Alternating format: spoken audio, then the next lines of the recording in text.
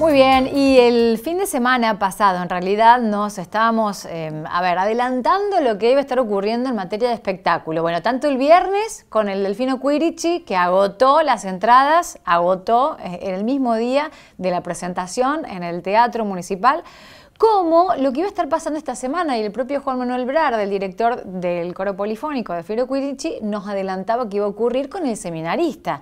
Esta posibilidad de ver ópera, ¿no? Ni más ni menos. El seminarista está ensayando, ahora están todos ensayando y ahí nos vamos a meter nosotros con Puntal M, porque el próximo viernes a las 9 de la noche, a las 21, en el Teatro Municipal, va a subir escena esta ópera de cámara en un acto con libreto y música de Ramiro Campodónico sobre el libro de Oscar Thompson, con la participación de los cantantes Laura Rizzo, Federico Vildosa, Maximiliano Espósito y la pianista Irene Armerio, la coordinación escénica y musical de Juan Manuel Brarda, con el que hablamos el pasado viernes, y la iluminación de Ariel Pereira y el vestuario de María Carranza. Ya podés ir adquiriendo tus entradas, pero nosotros nos, nos metemos ahí como en el backstage, en el detrás de escena, o en el medio del ensayo, porque lo cierto es que estaban ensayando todos y nos metimos para conversar con los protagonistas. ¿No es cierto? Marce, Andrés, adelante, voy con ustedes. Muchísimas gracias, Pauli. Y nos metimos en el medio del ensayo, la enorme movilidad y generosidad de, charlar un ratito de lo que se viene. Bueno, con, con Inene vamos a empezar eh, con esta obra que se viene ya este fin de semana en la ciudad de Río Cuarto. Exactamente. Buenos días. Bueno, y es un enorme placer para mí estar acá este, con esta producción en este hermoso teatro y con este elencazo de lujo que, que hemos armado, este, con una obra interesantísima, muy realmente muy linda, muy disfrutable, que, recomendamos que no se la pierdan. Este, y bueno, disfrutando acá del ensayo, del, final, de los, de los días del, finales del armado y de todas las corridas que significa eso, ¿no? En una, en una producción, aunque sea en este caso sencilla por el protocolo y por todo lo que está ocurriendo, ¿no? Este, pero de todas maneras, bueno, siempre implica un, un gran trabajo, una gran responsabilidad y, y, este, y bueno, y todo lo inherente a lo que a lo que es un espectáculo, ¿no? Para mostrarle al público lo, mejor de, nosotros realmente. Así que bueno, yo estoy muy honrada de estar aquí. Eh, yo vengo de Buenos Aires, ¿no? Y estoy eh, felicísima de, estar aquí compartiendo eh, esta obra y, bueno, en este caso con, artistas locales, con artistas de Córdoba. Y bueno, no tengo más palabras que esas, que espero que, la gente eh, eh, asista, que, que, lo puedan disfrutar, que realmente vale la pena eh, acercarse y, ver esto. Este, es una obra muy, muy linda y muy interesante. Bueno, y la posibilidad de ya estar saliendo al interior con la obra. Claro, sí, totalmente, sí, sí, sí, sí. Sí, exactamente. Eh, esa es la idea y tal vez ampliarlo y, tener otras posibilidades también para mostrarla en, otros puntos del país, sí, indudablemente. incluso acá en Córdoba, que se repita y se, lleve a otros sitios también. Bueno, vamos a seguir hablando con los artistas, otros los locales, con, con Fede Vildosa.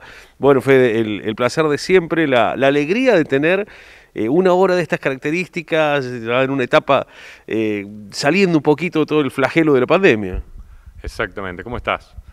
Eh, sí, la verdad que un desafío también y semejante grupo para compartir es un orgullo y una emoción volver al teatro, ¿no?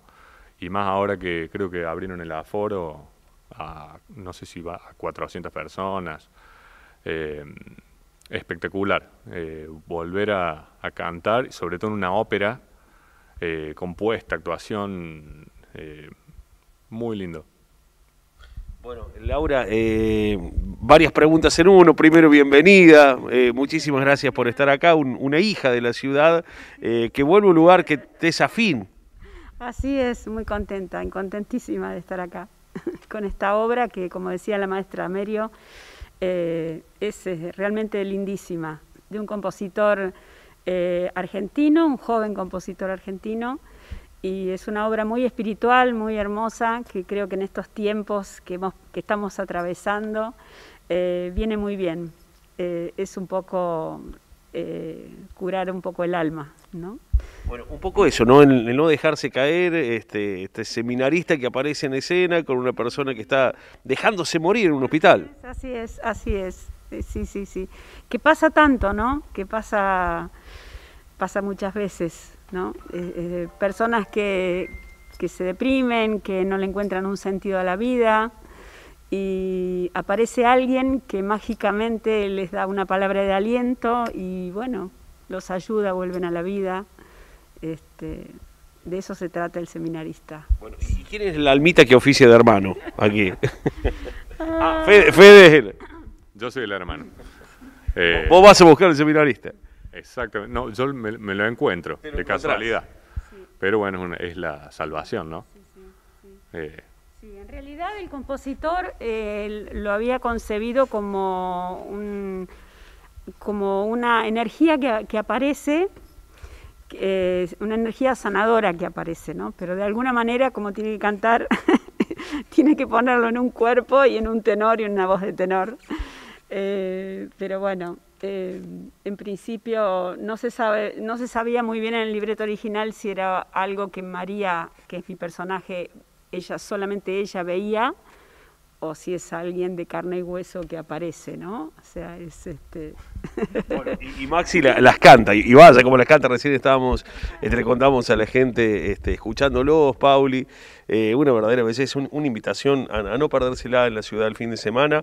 Bueno, contanos tu personaje en particular. Bueno, muchas gracias primero por, por invitarme, siempre el elenco le agradezco que me hayan tenido en cuenta mi trabajo. Es la primera vez que estoy aquí en Río Cuarto. La verdad que la energía de, la población de Río Cuarto es maravillosa, me atendieron maravilloso y estoy muy contento, la verdad. Estoy muy contento con cada uno de ellos. La experiencia no solamente es para el público, sino también para mí, que aprendo mucho en el proceso y, bueno, sí, me toca un, rol que está impregnado de mucha espiritualidad. Un, rol que busca unir dos mundos, ¿no? Eh, eh, el espiritual y el físico que es el, dilema en donde se encuentra María, ¿no? El, entre el mundo físico y el mundo espiritual. Y por ahí cuando suceden hechos que, que, nos hacen tocar fondo a los seres humanos, siempre encontramos la forma de salir adelante a partir de grandes procesos de dolor. Es una forma de crecer. Y la espiritualidad, a partir de esta ópera, nos muestra que la espiritualidad tiene una fuerte importancia e incidencia a la hora de la salvación, ¿no? a la hora de la sanación de las personas que seguramente en esta época que nos, nos atraviesan, muchos han tenido que pasar por ese proceso de cómo confronto, cómo logro sanar la pérdida de alguien que ya no puedo ver, ni tocar, ni hablarle, pero que aún sé que está más allá. Y ahí está el, el, seminarista para demostrarle que, como dice la letra, hay un país lleno de dicha, reino de ensueños y de bondad, mucho más allá del sol. Bueno, y que quizá adquiere otro significado también en esta época donde muchos, este, eh, aquellos que han tenido pérdidas ni siquiera han tenido la posibilidad de, acompañar, ¿no? Totalmente. Es, el mensaje es ese, que quizás eh, uno no pueda hablar, comunicarse por, por, estas vidas, por estas vías terrenales, pero siempre va a haber una forma de conectarse con los seres que más amamos y que si bien las circunstancias no nos ayudaron a despedirnos, eh, siempre vamos a poder despedirnos en el momento que nosotros deseemos. Solo basta con mirar al cielo y pedir por ellos. Pau, ¿te suma la conversación? No, en realidad, mira, no va a ser una conversación, va a ser un pedido que me puede costar. Un pedido. Un pedido. Me puede costar este, algunas caras, pero vamos a arriesgarnos. Nos gustaría mucho ver un pedacito, un fragmentito del ensayo, algún, algún fragmento, algún pedacito y, sobre todo escuchar algún pasaje de, esas voces tan maravillosas que, estamos viendo en escena y que estamos escuchando cantar. No veo el piano ahí para que Irene toque algo, pero si no, eh, si tienen ganas de hacer algo. Ah, sí, sí está, no lo había visto, mirá lo que es. Está el piano, claro. Bueno, entonces mira, vos trasladale a ellos, a todo el grupo, a ver qué dicen. Perfecto. Eh, eh, un pedido desde estudios. Si le podemos robar un mínimo fragmentito de ensayo. Algo, sí, lo dice Maxi. bueno, ahí está, que, se ubique en un pedacito. ¿Sí? Ahí se, pone, se están poniendo de acuerdo. ¿Eh? Sí, dicen que sí. Muy bien. algo de Maxi? ¿Algo de Maxi te parece? Algo de Maxi y algo de Fede. Perfecto. Bueno, perfecto. Nos dice Lauri, bueno. Irene se va, el, se va al piano. ¿O no? A ver. Sí, sí, Irene en el piano, perfecto. escuchar bien así? Sí. Vamos a un país. Estamos en vivo y en directo, ¿eh? estamos en Puntal M presenciando un pedacito, pidiendo ahí medio de caraduras, un pedacito del ensayo de la obra El Seminarista, que está el próximo viernes a las 21 en el teatro. Ahí se están poniendo de acuerdo este, parte del elenco. Ahí va. vis geno de dice reino den sueño y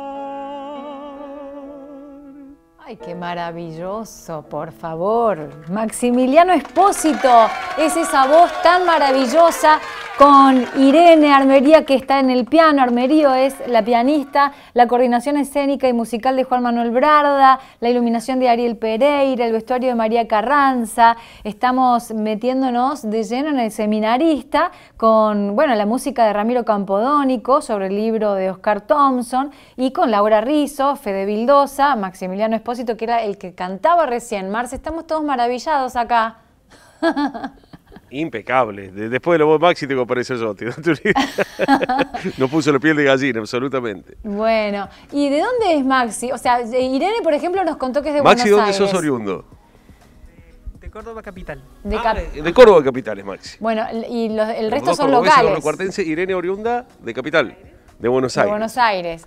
Y los riocuartenses que con los que ya conocemos y, y solemos hacer nota. Bueno, felicitaciones, muchas gracias al grupo por, por estar tan abiertos y prestos a, a ensayar con nosotros, aunque sea un pedacito, y mostrarnos. ¿eh? Parte de lo que se va a ver en vivo. Y nuevamente la invitación, claro, está para Claro. este fin de semana, Pauli. Exactamente. Muchas gracias. Entonces, un abrazo a todos ahí. Gracias. Abrazo grande. Bueno, qué lindo, qué lindo, ¿no? Volver a, escuchar ópera, digo, y ahí la posibilidad de hacerlo presencial. Importante lo que decía. eh, tanto Natalia con el evento del Alzheimer el próximo primero de octubre, como este, eh, bueno, este evento en particular que tiene que ver con lo cultural en el teatro, es la ampliación del aforo. Antes estaban permitidas 200 personas, se ha ampliado, 260 personas, y se ha ampliado el aforo desde el municipio a 400. Con lo cual, bueno, el teatro tiene posibilidad de un poco menos que 500 personas, 400 van a estar permitidas para presenciar esta obra eh, allí mismo, ¿no? En, vivo y en directo a las 21 el próximo viernes. Las flexibilizaciones que se van eh, sucediendo en la ciudad de Río Cuarto, de acuerdo siempre a los índices y los datos epidemiológicos, cuyo reporte estuvimos compartiendo en el primer eh, bloque y que queda en las redes sociales a disposición para que lo cheques.